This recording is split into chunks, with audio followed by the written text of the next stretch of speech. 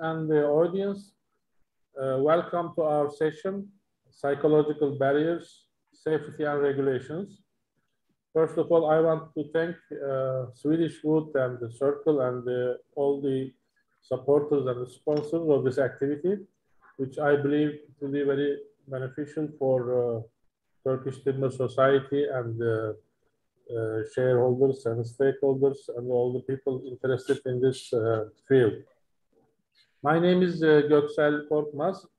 I'm in timber uh, industry for uh, more than 35 years. Uh, and uh, currently in the recent years, we are very active in uh, structural timber and enhancing consumption of timber in Turkey.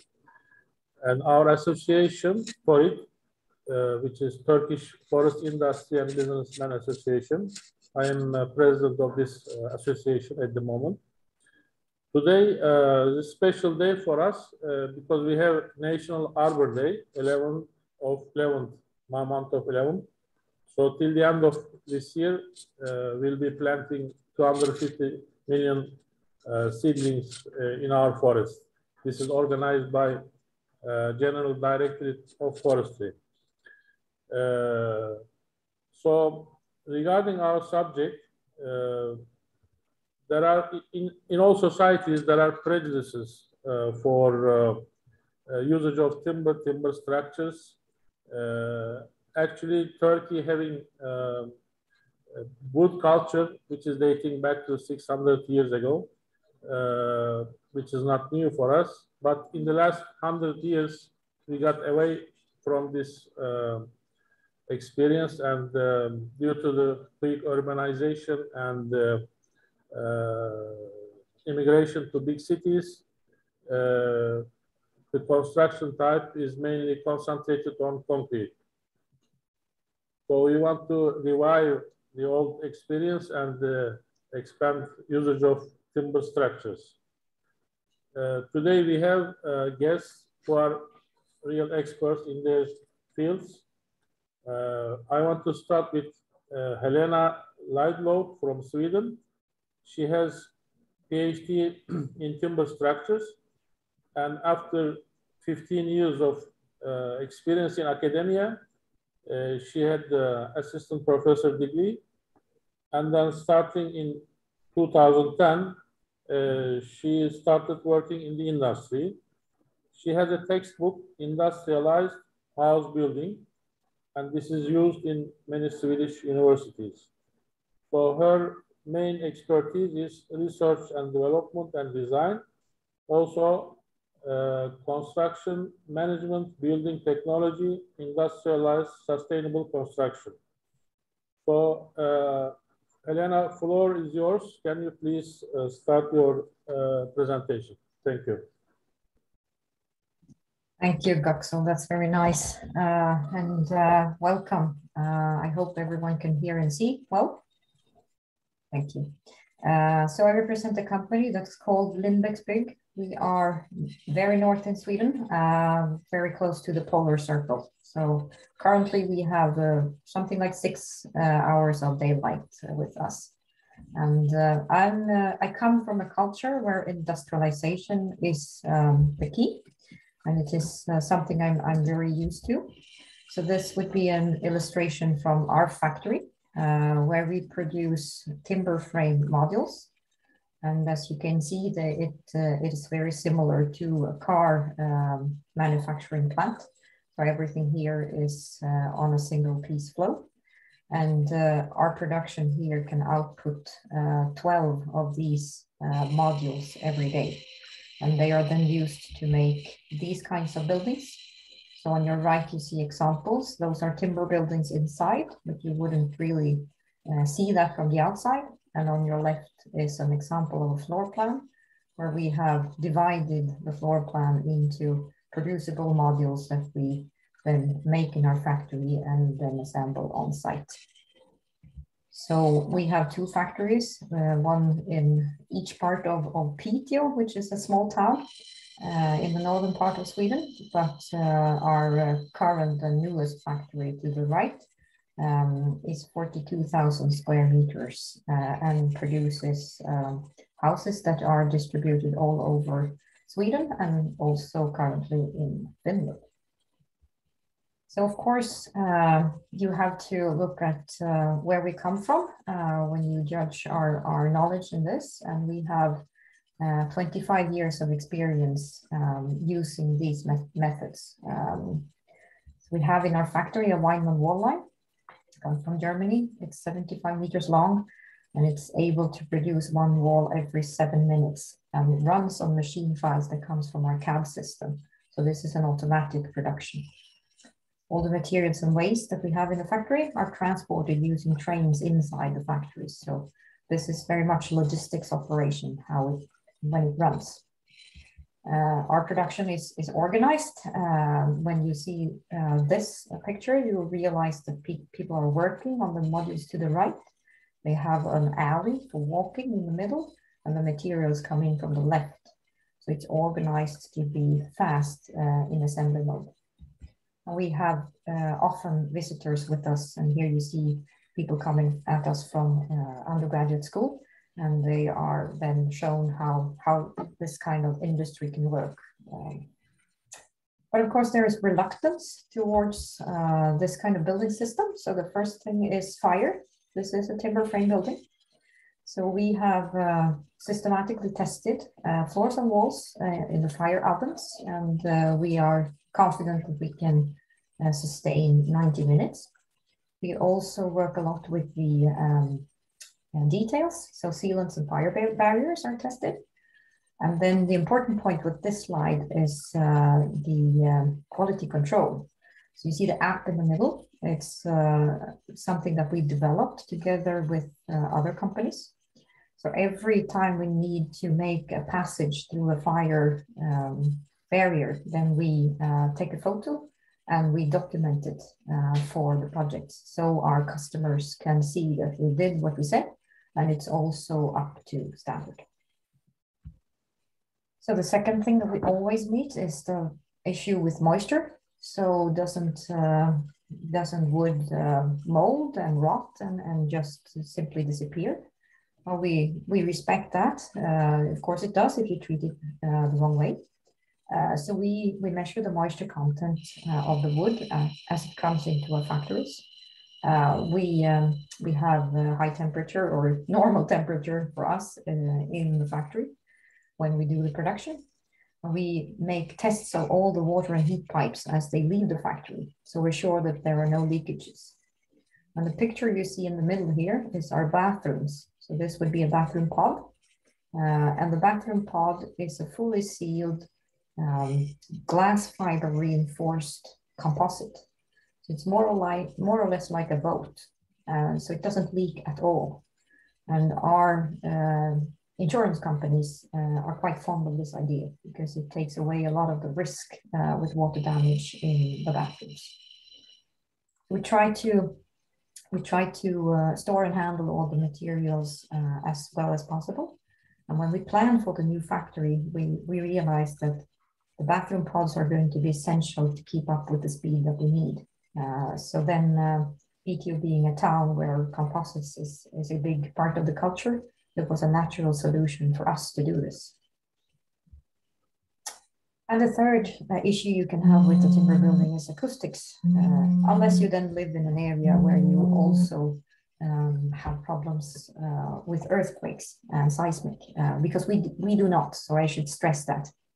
Uh, so I haven't had to, to address uh, any seismic issues.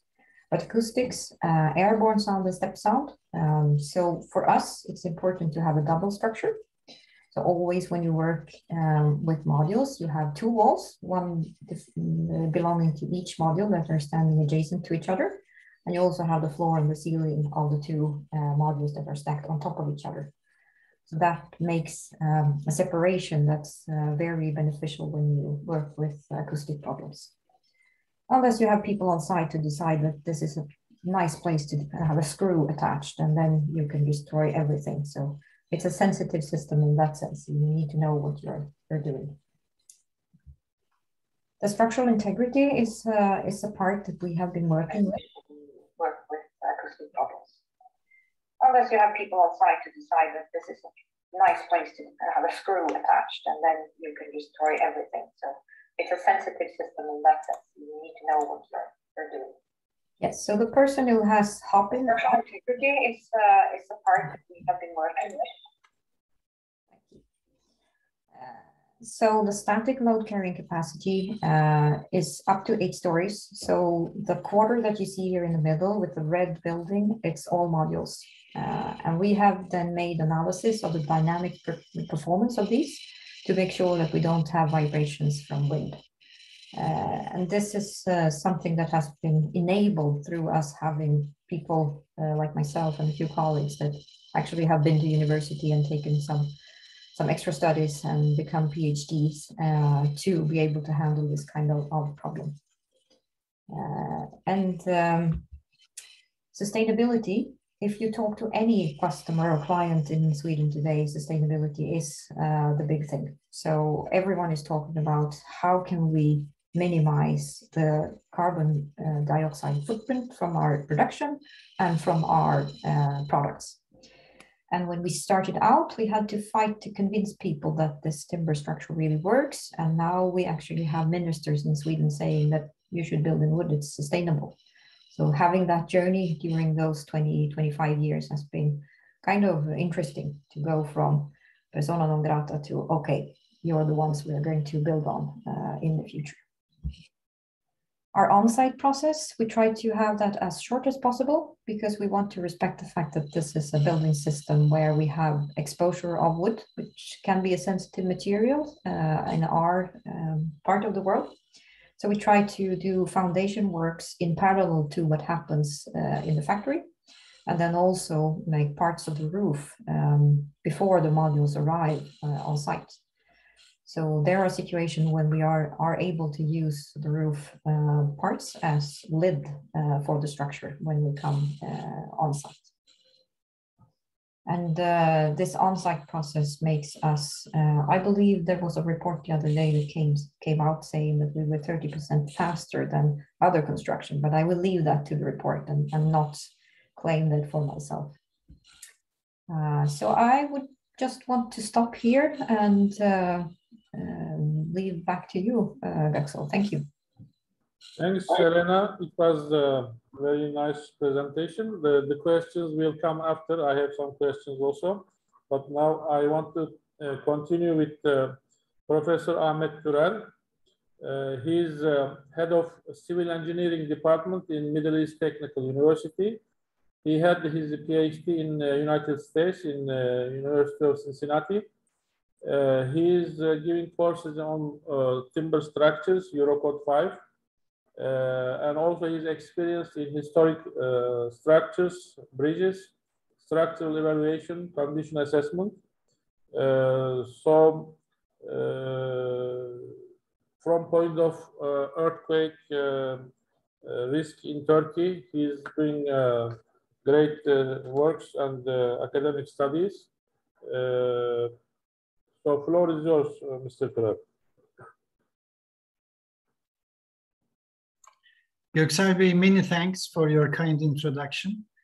Um, we have approximately 10 minutes, so I will try to make the best out of it.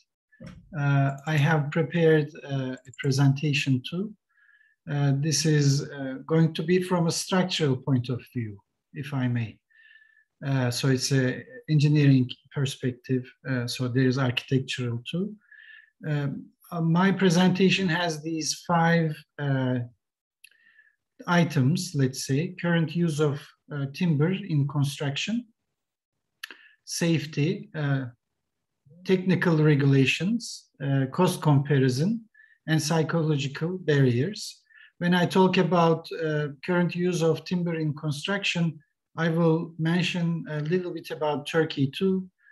Uh, although historically Turkey has been using a lot of timber structures in the past, currently uh, we have uh, we are not using it anymore, and mostly reinforced concrete is uh, uh, the type of construction in Turkey. Now, for the current use, as structural engineers, we can use solid timber but uh, increasingly uh, amount of times we are switching to glue, glue laminated timber, which individual parts are glued together to form larger cross sections. Because with this technology, you can not only have curved members, but also you can have very deep uh, cross sections for columns and beams, and you can span larger distances. Timber being a lightweight structure, combined with the high strength, uh, it is a structural engineer's dream. And uh, today uh, in United States and Canada, 95% uh, of the houses are made out of timber, whereas it is less than 5% in Turkey. Um, so there is a new technology, relatively new, which is called cross-laminated timber. Uh, in this, uh, it is like uh, glulam, but the orientation of the members are alternating 90 degrees to each other so that you can uh, have a plate uh, that you can use as a shear wall or for the slab. Uh, and finally, all the sawdust you get from cutting timbers you can uh, glue them together to make particle boards, either MDF, HDF, or uh, coarse particle woods, or you can shave the timber uh, uh, from trees in thin slices, and you can combine them as plywood, LVL, LVB, and um, other, uh, other material. So uh, there's a, a, major difference between LVL and LVB or plywood uh, the layers are either 90 degrees or uh, parallel to each other, zero degrees. So uh, by this, they are either used in uh, as a plate, as you see here, or as a beam, as a structural element. There are more varieties. There's no time to go into each sub-segment. Uh, laminated strand lumber, parallel strand lumber, oriented strand lumber, and composites, of course. Here you see a beam. Uh, the web is made out of steel and the top and bottom flanges are from solid timber. Sometimes it's combined with steel uh, cross section and glulam, uh, solid timber, steel, they go all together nicely. And in this example, you see a very wide uh, arched type of uh, uh, structure uh, with a large span and composite um, cross section. Uh, now, the structural use of these materials or um, segments can be categorized in a variety of ways. I will just mention a few that are most frequently used.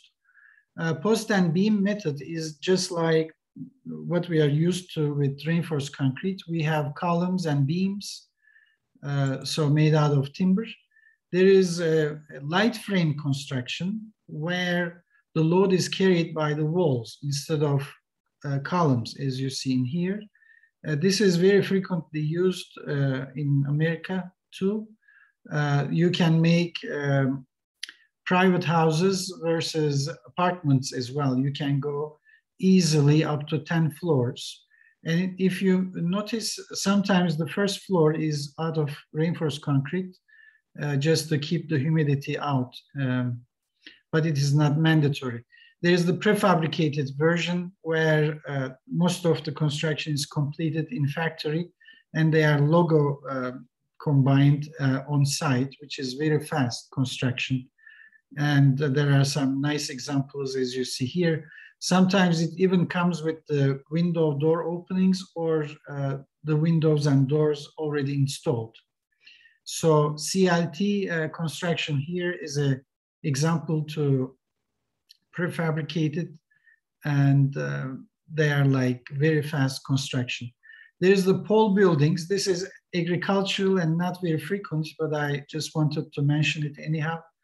Uh, the columns are uh, out of poles like uh, timber tr uh, tree trunks and this is frequently used in the country uh, countryside.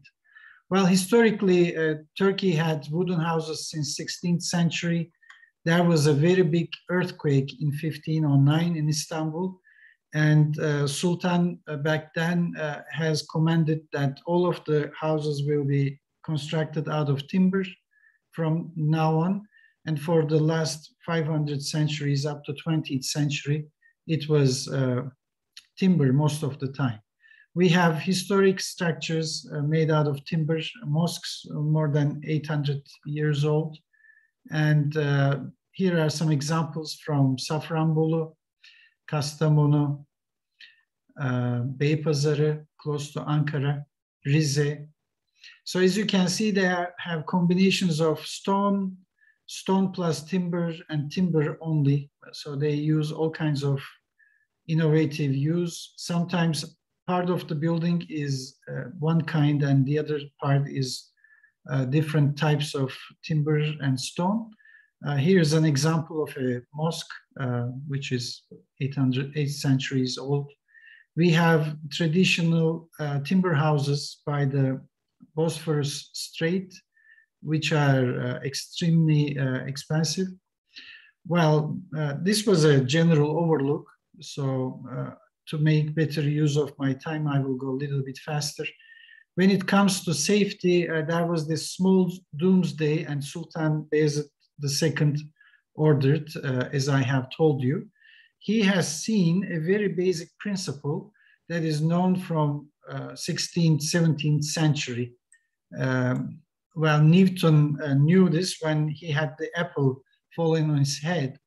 Force is equal to mass times acceleration. Acceleration is the uh, earthquake. And if you have a light mass, then you have a smaller force. So D'Alembert's principle also uh, falls into this, even Einstein's. But to make things uh, simple, you can imagine uh, a structure on a on a vehicle, and as the vehicle is accelerating, the inertial force acting on it is going to be in the opposite direction.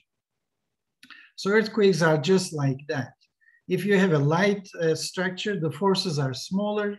And if you have a strong material, then your building wouldn't collapse. So uh, with timber structures, our capacity is high and our mass is low. So it is the perfect combination. Uh, here you can see a comparison of timber, concrete, and steel. Uh, timber is about 300, 500 kilogram per meter cube. Concrete is 2,500 kilogram per meter cube. Steel is almost three times that.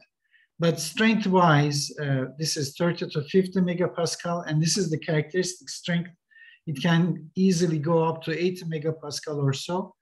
And concrete is typically 30, 35, and steel is within this range.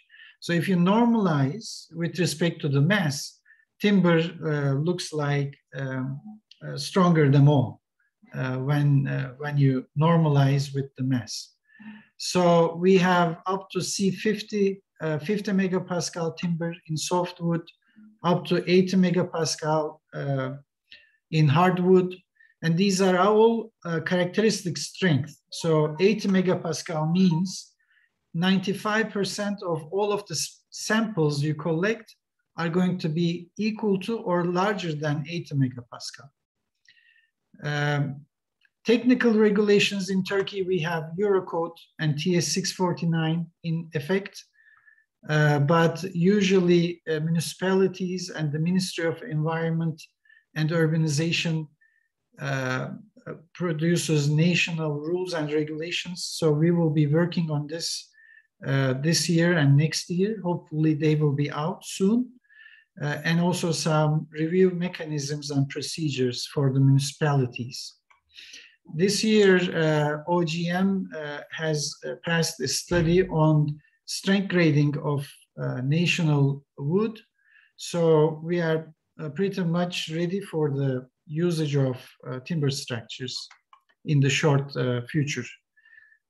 cost is very important for civil engineers and the constructors. There is a comparison study in Canada, which is you can reach to the details from this link.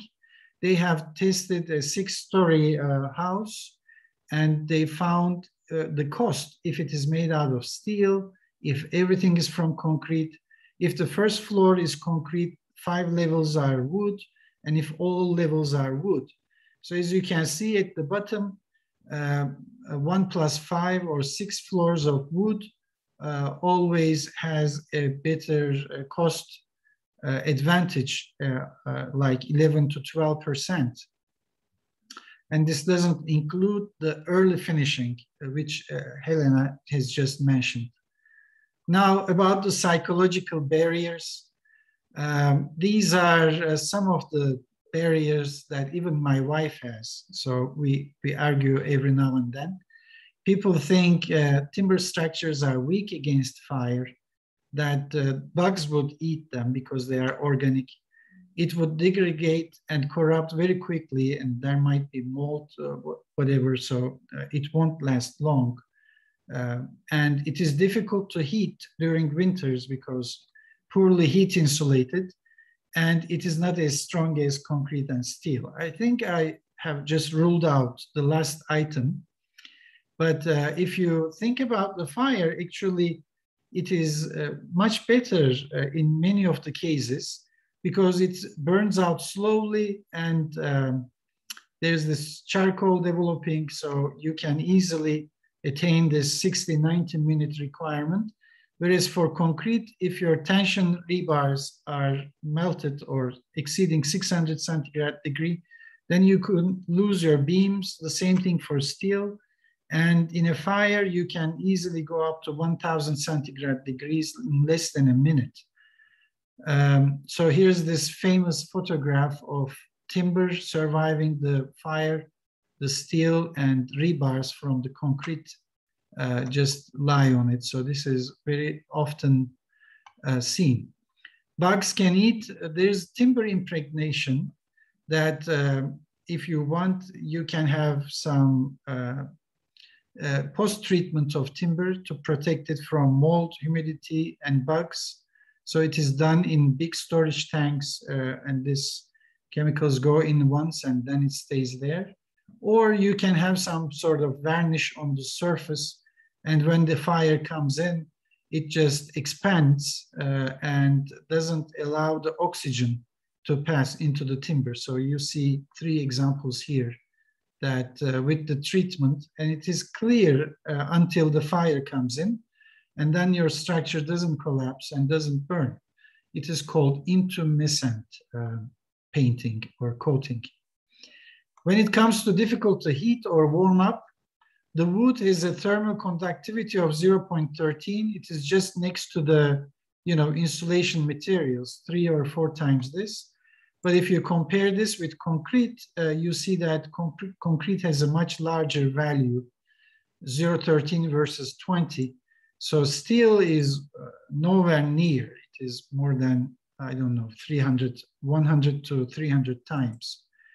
And if um, you use some foam, uh, thermal insulation foam between the voids, then it is the perfect uh, thing to use uh, for winter and summer heating and cooling. So you can see the thermal insulation here in addition to the timber, which would uh, make it perfect. So for the final words, production uh, of timber uses solar energy because as you know, all of the plants through their leaves uh, use the uh, solar energy and the raw material comes from the air, which is carbon dioxide. So timber uses carbon uh, in the air. Uh, so uh, it has negative carbon dioxide emission and its smallest footprint compared to other construction materials. It's a super material from strength, mass, thermal conductivity, carbon dioxide, storage, and things like that. It is advantages for earthquakes. 95% of the people in Turkey are in living in earthquake prone regions. By land, uh, our 95% of the land is uh, susceptible to earthquakes. Cost and fast construction and fire, these are all advantages. It is sustainable. It's a green technology. And uh, most likely timber is going to be the construction material of the 21st century. Um, I thank you very much for your uh, interest in listening. Uh, so hopefully I'm not over my time too much. Thank you, Ahmet Bey. It was a very sophisticated uh, presentation. Thank you. Uh, uh, now, uh, I received a message from technical team that Helena will leave earlier. Uh, is that right, Helena? Because there is, if you will leave early, there is a question forwarded to you. I want to ask that question and then continue with the other panelists. Yes, please ask your question. Yes, I have to leave as we're running late. It's going to be difficult to be on Hopin, but I can answer your question. Okay, uh, this question is from Miss Aisha Shahin. She said, is it possible to visit your factory and analyze the production process within the scope of PhD studies? Uh, will you have time to help uh, her? This is the question. Uh, I'm sure you can find my email address uh, on the website for Lindbäcks, and Okay. uh, it would be um, a pleasure to accept uh, a visit uh, concerning PhD studies. Uh, and we're, we're happy to help with research. Uh, we're a little bit more strict when it comes to other industries, but for research would be okay. All right. There is another question from Ajay Çakır. This can be forwarded to you or to Mr. Türer, but uh, let me read the question. I would like to ask uh, regarding seismic performance of additions with wood. Yesterday, we had a panel about adding and adapting to existing buildings. There was an example of adding timber floors on top of existing brick building. Obviously, they do not have the earthquake risk in Sweden. So how would those kind of extension or addition projects perform during an earthquake? Well, I can ask because I've been working a bit internationally uh, too, so maybe I can um, start answering and someone else can can uh, continue. Um, my perception is that wooden structures are uh, quite good uh, from the start because they have a lot of dissipation energy. Uh, the joints are not very stiff, so it means it can move and dissipate energy during an earthquake. The problem, as I perceive it, is to have enough hold downs so the structure doesn't move and fall down. Uh, so that would be the design. I've spoken to people in uh, in New Zealand, and they uh, tell me approximately that if I double my wind load that I'm used to here in the northern part of Europe, uh, I would have enough capacity to, to sustain earthquakes. So I think this would be doable. Okay. So I have a small question, a personal, uh, my, my question. Um, we are following the uh, countries who are um, really progressed in timber and uh, forestry. Regarding this CLT and glulam, uh, we see, we realize that Austria and German, Germany, uh, Alpine countries, let's say, are more a bit ahead of uh, the others in, for example, in CLT and glulam uh, compared with the Sweden and Finland. So is it a kind of policy or a preference or just by coincidence it goes that way? Uh, would you, because you are in industry also, uh, so as also you mentioned you took the example of automotive industry in your factory. So I appreciate if you give a quick reply to that. Yes. Uh, no, CLT is popular also here. I think it has a cultural spread. So it wasn't invented in Sweden and Finland. So there it has to, it takes some time for adoption. Uh, but uh, the increase in uh, multifamily um, timber buildings the last three years, it has almost uh, been um, solely uh, on CLT and that part of, of technology. So we now have our own plants uh, and CLT made of our raw material uh, has a high quality and the engineers are now learning how to use it. So um, in terms of automation, as you mentioned, uh, CLT is of course a material that can be uh, quite easily uh, manufactured, but also handled and uh, routed and so forth. So you can you can have holes for fittings and for windows and openings and so forth. So I think um, we're only seeing the, the beginning of this expansion. Uh, and with with our timber supply, I would be very surprised if, if it wasn't, it's going to grow in the coming years. Okay, Nana, thanks uh, for your kind reply. Uh, Göksel Bey, Yes, if I may add uh, one more item to Helena's first uh, comments. Yeah. Uh, for the earthquake and the wind, she has mentioned nicely. Uh, well, I think the question was, or I sometimes uh, uh, exposed to similar questions. What if if we add two more floors to an existing building, uh, for example, made out of bricks originally, but then two more floors out of timber, since it's lightweight, would it be fine? Especially that it's lightweight and um, vertical and horizontal forces. Um, uh, and uh, it is usually uh, not desirable uh, because in the past, uh, in earthquake prone regions like in Japan, United States, people have tried to construct lower part out of reinforced concrete and the upper part out of steel. And uh, during the earthquakes, it has been shown that this interaction point where it switches from concrete to steel had uh, tremendous damage and uh, they had difficulty with preventing damage there.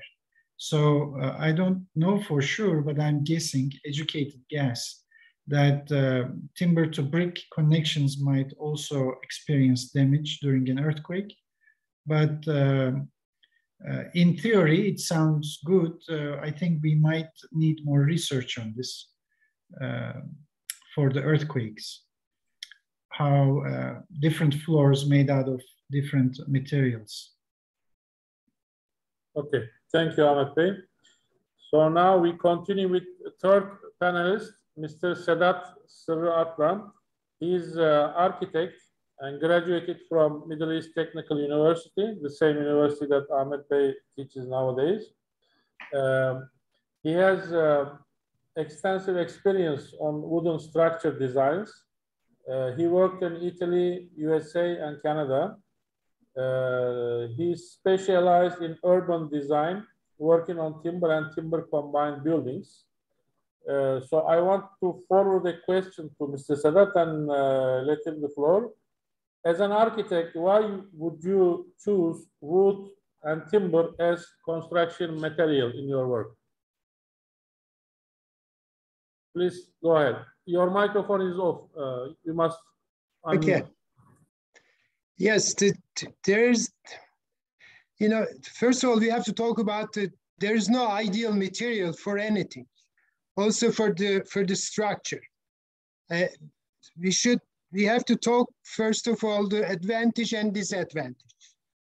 When you focus on the timber, there is a lots of advantage uh, because lightweight and the Ahmet Bey uh, briefly explained the support capacity and supporting capacity and related to weight.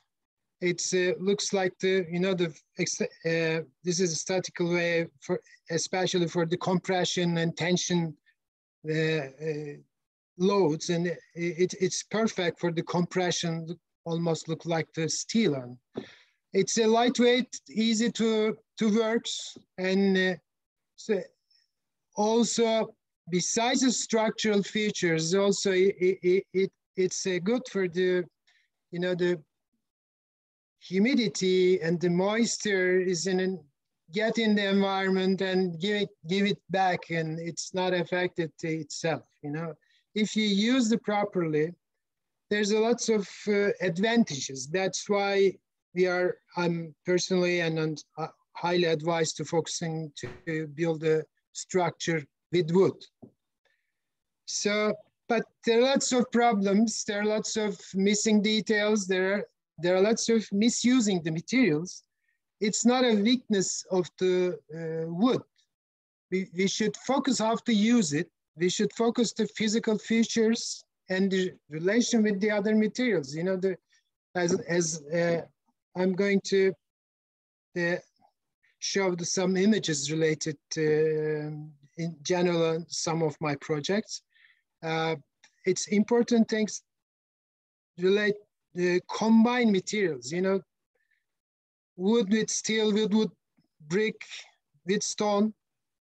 Uh, it's, it's very important details.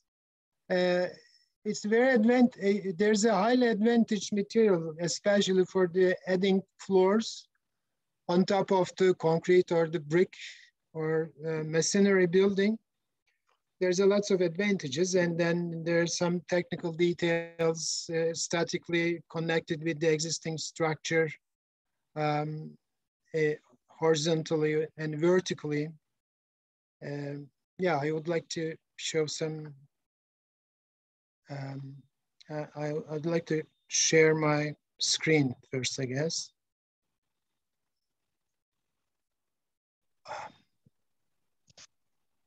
If I can manage.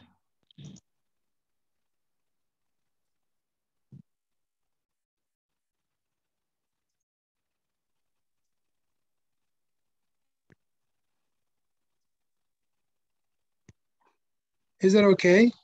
Can you, it's, are you seeing? Can you make a full screen? Because it's not full screen at the moment. Okay, just a second.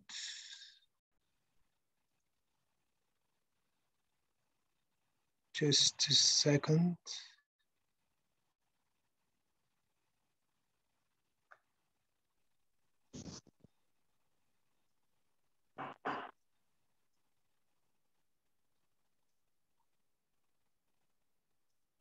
Sedat Bey, if that's okay, I can share the screen and, and I'll uh, leave the control to you. Is that okay?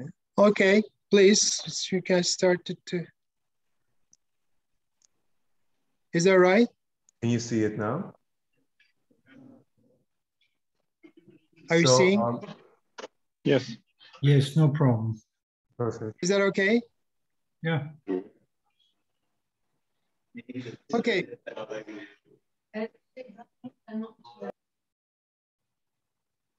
is that okay? May I continue? Yeah, go ahead, please.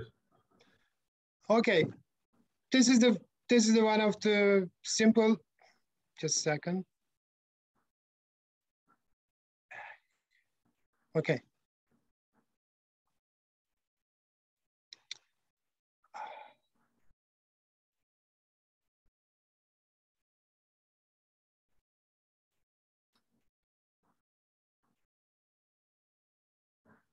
Just second.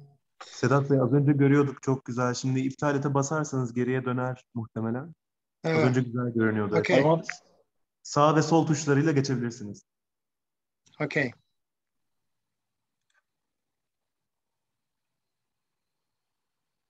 Yeah, this is one of the simple uh, structure with structure. It's um, A shapes and the, the trusses. This is a fantastic uh, wood doors. Everyone's love it. There's a mostly it, it- there, there's a skill on it, and then it's it's lasting a long time period if you maintain it properly. This is the, some example about the structures. Uh, th- this is the typical ones. Uh, it's uh, you know the floors, wall, roof, everything is wood. It's uh, uh, you can you can finish in a best way. It's, you can control it and easily assemble. You can easily uh, produce it, as you know. This is the fantastic shots about uh, types of the plywoods. This is another, everyone knows about this structurally. It's uh, uh, kinds of plywood, finish mades and, you know, carto they call it. And in Sevilla, it's in extreme, extreme conditions. I, I I don't have any idea about the existing uh, situation, but it, it, it's, uh, uh, it's, it's totally uh, pushing the limits. This is the traditional way of combined, using the combine with the stone, brick walls, the wood facade with the windows. This is the interior using the highly uh, professional way to uh, woods. It- this is kinds of relaxing environment, flooring, walls, and the roof. Uh, I'm going to speed up, and then this is the fantastic flooring. This is from the Venice and some uh, structural beams supporting by the columns, marble columns. Uh, this is the passage passage in one of the Aegean islands uh, using the timber. Uh, this is in Muğla. It's one of the tra traditional uh, houses structures in Turkey. This is the details of the structure. It's fantastic. And this is the this is the countryside timber structure filling with the stone and brick, mud. This is the this is another example. The uh, wooden pieces still survive, falling apart to all the stoneworks and the roof, uh, but uh, you know the windows corner and the beams still survive. This is another example. So this is the proof of the wood. Wood is not a fragile material. It's a, it's a resistible to environment more than lived. Uh, one of the settlements, it is south of Turkey. The, you know, the empty things at all the roofs, windows, doors was, was wood, but removed, used some other purpose. It's damaged. This was the original ones left and the, you know, the timber structure roofs and the, there was a timber balcony here and also the shutters and the windows wood. This is the area, but this is the land and this is the uh, environment. This is the original buildings, one of the left. Uh, again, it, it's a, it, it, this is the timber structure, balcony, doors and windows, still timber, still survive. But this is the view, this is the area. But today, the people willing to build with the concrete in, in this fantastic area, uh, lacking of the control, lacking of to define the land use plans and properly. Uh, this is this is another structures everyone knows and the uh, beginning uh, uh orphanage is the, the uh, Büyükada. Fantastic structure, but for still stand up, but uh, is is da highly damaged roof and they damaged the whole structure. This is this is the exactly define it. What is the problem? Pro problem is the roof drain. It's it is stop here, always wet this area and damage it. You know, it's it's it's a simple uh, simple simplest solution. You can solve this problem, but there, there, there's no maintenance. There, there, nobody take care about this building. Another example, the roof leakage and the uh, damage first to stucco and afterward is the strapping on the wood structure. And also, also the main beams crossing the uh, larger area. This is one of my project is adding the uh, existing uh, brick, uh, yeah, brick buildings. Top floor is with structure, as you see that attached to buildings, and the lime stucco on top of it. Uh, all the flashing details, you can see the flashing details on the every, each floors, windows, doors on top of it, and the drip edge, uh, wood profile also. The windows, it's a 120 years old windows, double hang windows. Uh, repair and refix it, uh, still active. It's a very fine profile of the wood. Uh, this is the original one. This is the missing one. Produce it new, and then you, you can use the, the same space, both of them. Uh, the same buildings facade. This is another example of, uh, you, you, see the, um, these are all originals. this is uh, reconstruct, reproduce it and refix it.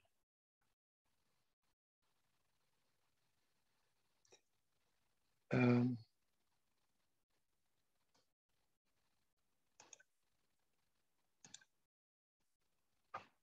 how can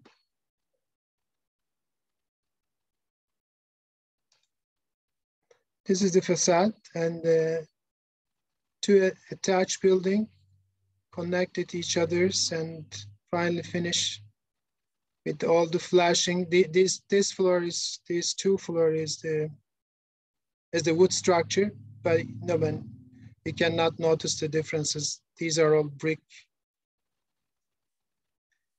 The next building, the additional two floor is also wood. Rest of it, this is the uh, heritage building built um, in 1874. Another project at the island, uh, one of the Aegean island. Um, this is the soap production space used to be used.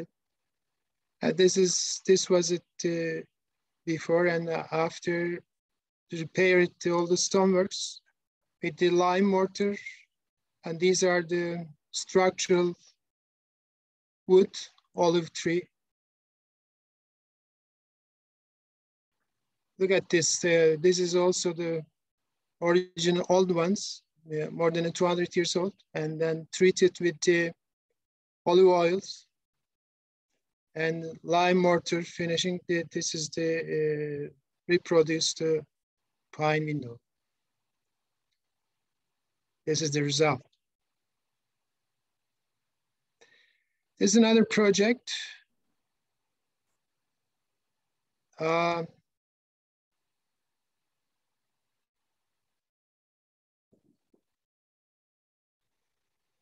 Sedat Bey, also to- can, can we speed up a little bit last three Okay, minutes? this is, yeah, sorry about that. This is the um, six meters length table, timber, cedar.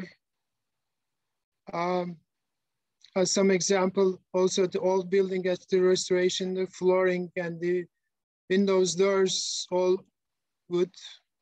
Uh, Roof spaces, also the good for the acoustics. Rooms, uh, upper floor. Also, this is the structural roof. Uh, yeah, you see the exactly the, it's good also for the acoustic, as I said before. I speed up. For example, this is the restoring, this, this is the timber, uh, wood, wood ceiling. Restore it, uh, adding the some missing pieces with the rough. I'm gonna speed up. These are the details of the wood ceiling details. Keep it as it was, the, just clean it uh, for the conservation purpose. This is another woodworks. Uh, this is the pre, pre-stressed, uh, pre, pre-stressed uh, tables underneath the details. Uh, this is the Canadian post and beam structure finished assembled 20 years ago almost. This is another example in, in, in Bolu area, Turkey. This is all wood, also the shake roof, shingle, shake shingles roof. Uh, this is another good example for the flexibility of wood. This is this building and the original building and adding, yeah, this finished, this building was finished 15 years ago, 15, 20 years ago, and then afterwards and adding the another space. Uh, there was uh, some level differences also. The interiors, it's all the rafters exposed. This is another Canadian beam timber structure. This is also the restorations and the stoneworks on top of it. Uh, timber roof, flooring. Nicely used, but uh, how you can manage to splash the waters on the, this is another details. Um, uh, this is the countertop. I, I have to I have to tell something about the detail, designing details, especially the interiors and architectural finishing details. How can you how can you save this fantastic timber surfaces, dripping waters and splashing? This could be a solution maybe. Uh, this is wood and for the deck, deck, deck and any, any boats, it's, yeah, this is the way to have to survive most of the times in a wet uh, uh, environment. Fire in, in, in Istanbul, coincidence, it uh, burns up the all. Uh, scare people scare about the fire. It, it's a psychological things, and, and, this is the famous fire. They cannot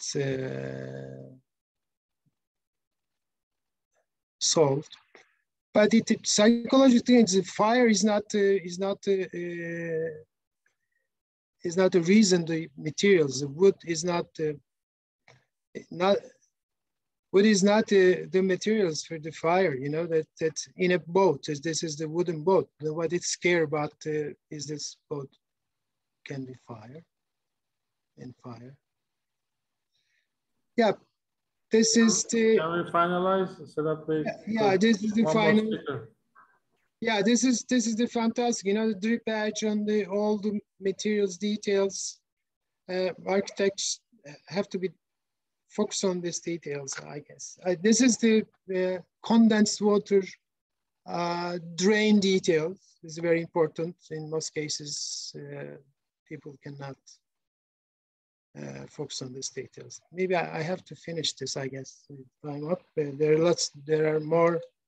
Um, we can continue in question answer this section. Is the final things. I'm, I'm highly advised to any designing person about this book, uh, Timeless Way of Building, Christopher Alexander. So as I said before at the beginning, and uh, uh, timber is the fantastic materials, but we have to we have to know how to use it. And, and th this book's uh, guide to all the designers, I guess most of the people all of that. Thank you.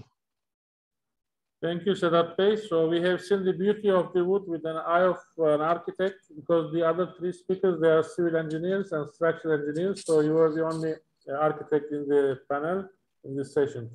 Okay, thanks for the presentation. Now, the, the last uh, and the fourth uh, panelist, Mr. Tomas Alsmaker from Sweden. Uh, Mr. Tomas is a structural engineer.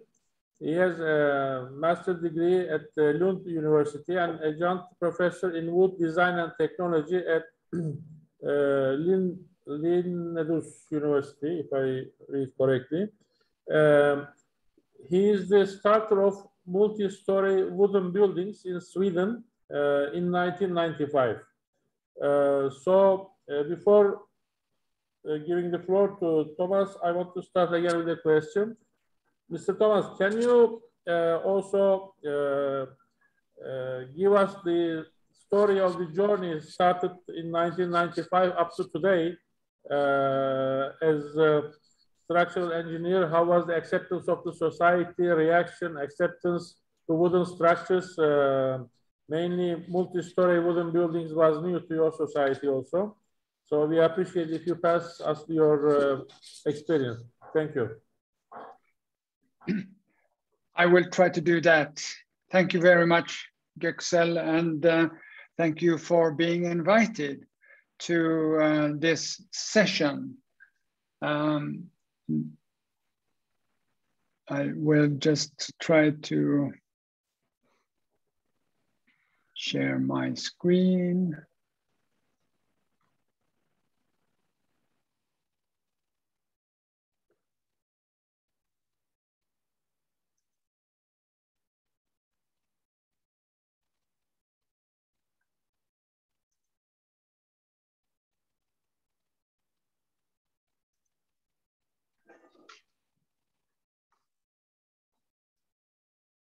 Any network connection troubles?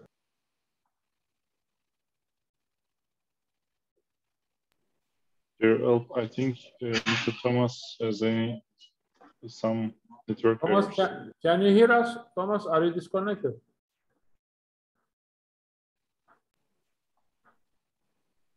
Does it look like a network trouble? Yes, you down now. So shall we continue with questions until he gets uh, reconnected or shall we wait? What do you suggest?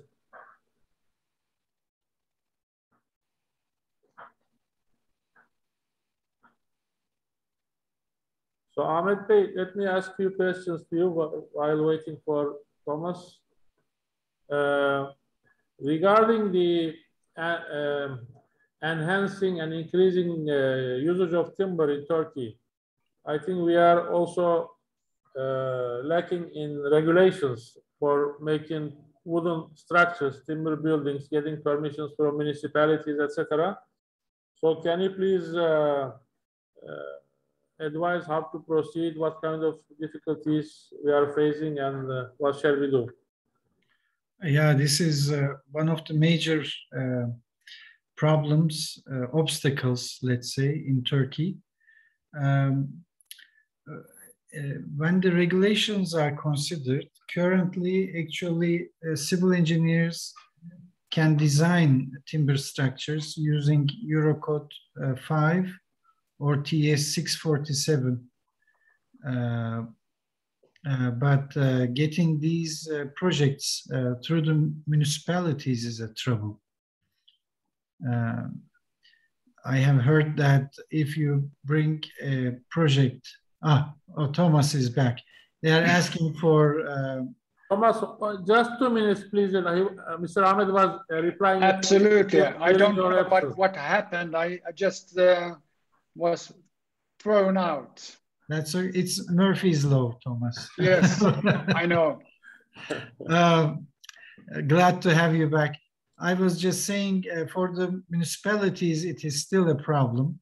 Mhm. And uh, hopefully next year, uh, together with TORID, uh, Ulusal Ahşap Derneği, uh, uh, uh, Ministry of Urbanization, we will tackle this problem. Yeah. Okay, thank you. Okay, Tomas, please uh, start your uh, presentation. Thank you very much. And I will tell you a little bit about our history in Sweden regarding multi-story timber frame buildings. But I will start even, even longer back in, in time. Uh, I want to start with this uh, beautiful bridge because the, we, we are looking for ways to bridging over psychological barriers, different kinds of historical barriers, psychological barriers, technical barriers, regulation barriers, etc. And this bridge, uh, it was already uh, proposed by Leonardo da Vinci in 1502 uh, on the Golden Horn. Uh, it was a bridge in masonry bridge, and it was never built. Um, it, but this and the sketches, uh, like this one, was uh, uh, lost for about 400 years and was found again in 1952, I think it was. And um, 2001, almost 500 years after this uh, proposal, the bridge was uh, rebuilt, so to speak, in timber in Norway. So the bridge, this is a bridge between Istanbul and Ås in Norway, so to speak. Um, uh, it is a bridge in history, and it is a bridge in craftsmanship. It is a bridge between different materials. The original one was intended to be constructed in stone. And this one is carried out in glulam. And it is also a bridge in technology. The craftsmanship 1502 is quite different compared to this kind of craftsmanship. I call it the industrial craftsmanship. We have now new tools, being able to do fantastic um, buildings of different kinds. And I also want to show this one, a mosque in Cambridge, also a um, bridge between different countries, different religious religions, etc.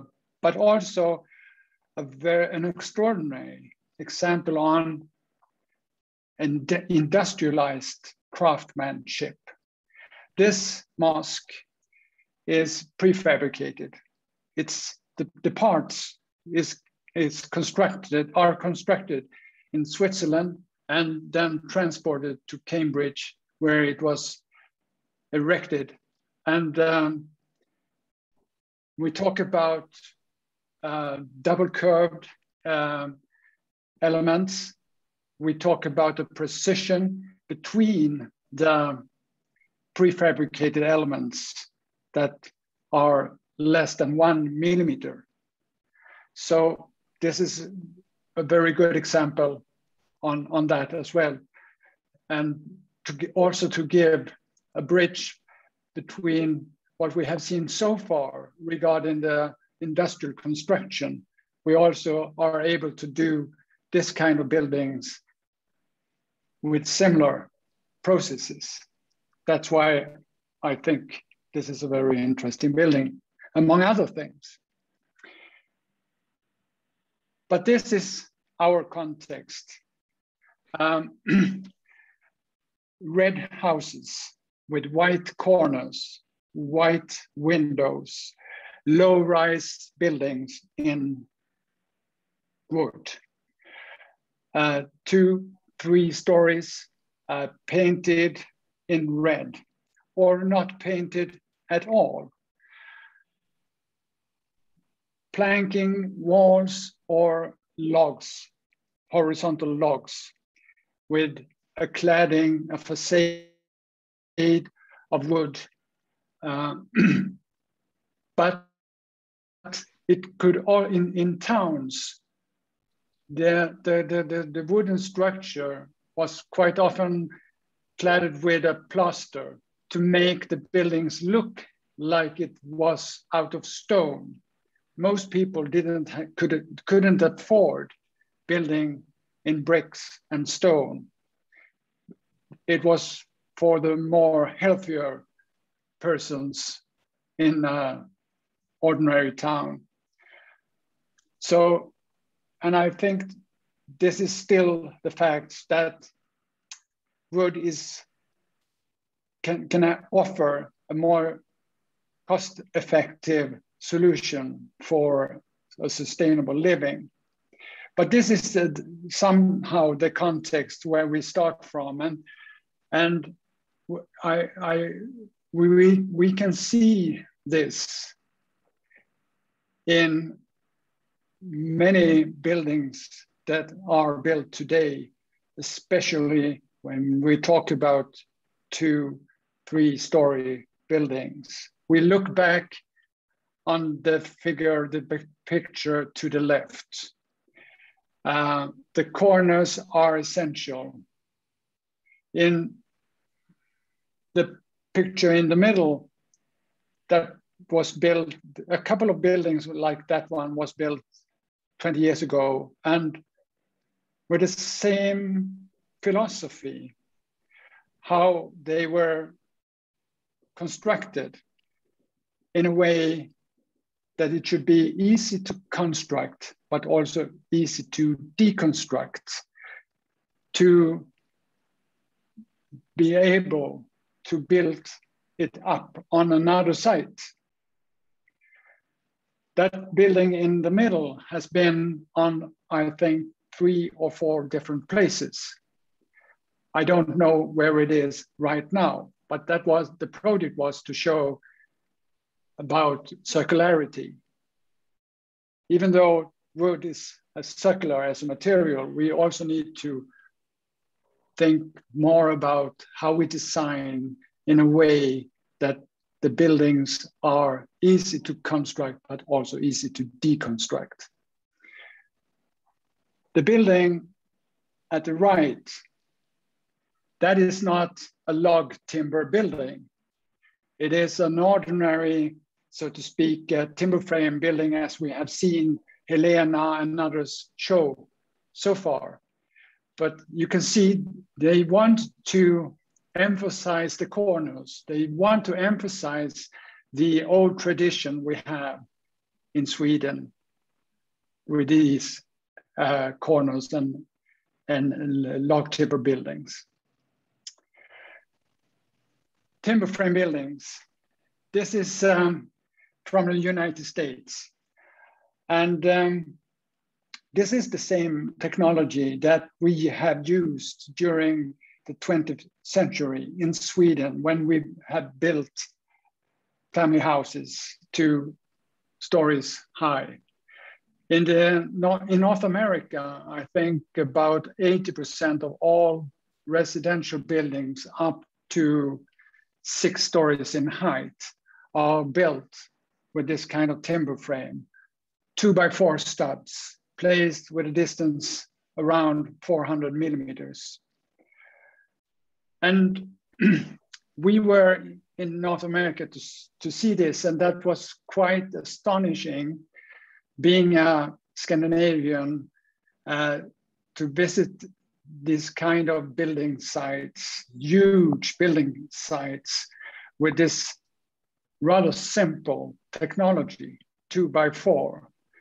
Um, and we were quite surprised, I must say that was one of the inspiration sources to the very first multi-story timber frame buildings built in Sweden. And that history started in 1994 when we got a new set of building codes, performance-based building codes.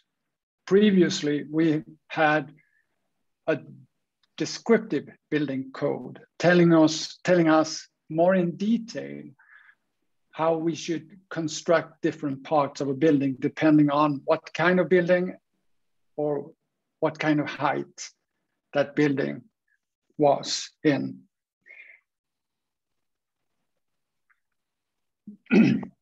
now we had these performance-based building codes telling us that a building must fulfill these, these requirements regarding acoustics, regarding fire, regarding moisture, etc., etc. But the building codes doesn't say anything about what kind of material you should use to achieve that.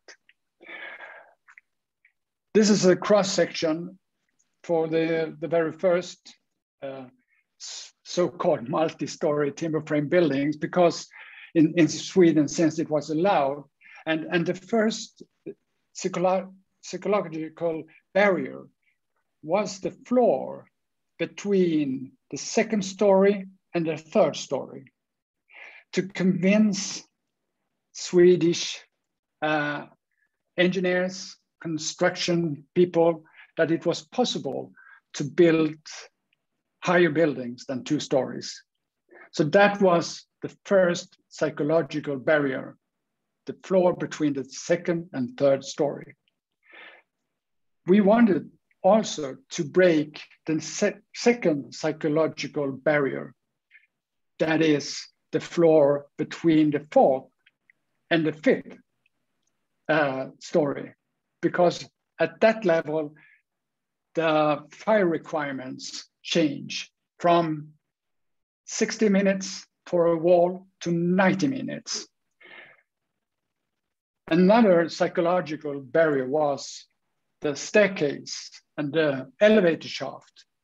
We suggested that that also could be done in a timber structure.